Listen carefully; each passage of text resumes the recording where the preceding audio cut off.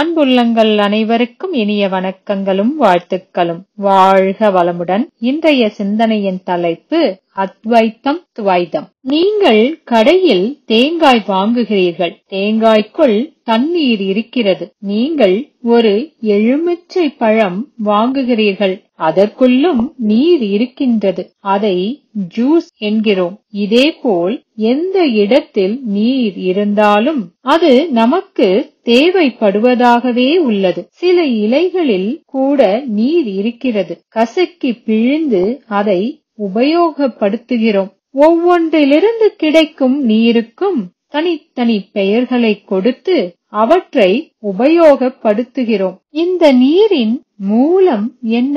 தேங்காய்க்குள் எப்படி தண்ணீர் வந்தது? நிலத்தில் இருந்துதானே? அப்படியானால் நிலத்திற்கு பூமிக்கு எப்படி தண்ணீர் வந்தது? மலையிலிருந்து வந்தது.